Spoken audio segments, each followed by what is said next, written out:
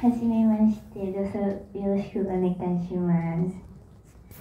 Today I'm gonna present about the Smart Pet Project.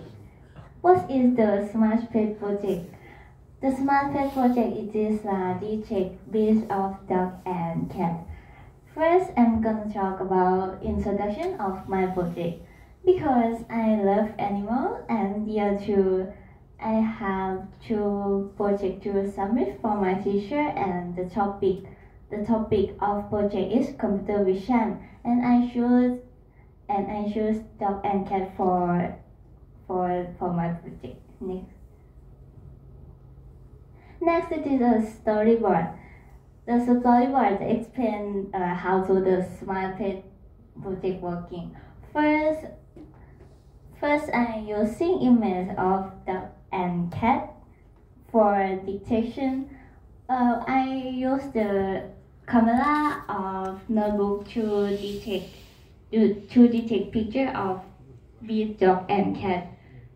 And next, next this is a this a solution of training model. Um, first, I find a picture based of dog and cat of dog and cat and I find 20 pictures of bees. Uh, the the I choose I choose bees, dog and cat five five bees. Dog I choose husky, Pomeranian, uh, bulldog, Chihuahua and and golden retriever. Cat I choose Scottish Scottish, Maine Sphinx, Persian, and American Coon. Uh, second, uh, I level a picture in level 4. And next, I training model. The training model, I use the Google Colab. And next is that when, when finishing for training model, I use Visual Studio Code for run a library OpenCV2 for Open Camera 2 detection. Next. The technology and algorithm I use it, I use YOLOv5 to I use YOLOv5 and Google Colab for training model and I use Level 4 to label image.